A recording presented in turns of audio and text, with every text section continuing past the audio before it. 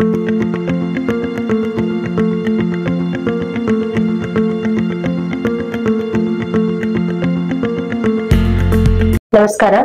ನನ್ನ ಹೆಸರು ಸುಪ್ರಿಯಾ ದೇವರ ಮಸಳೆ ಅಂತ.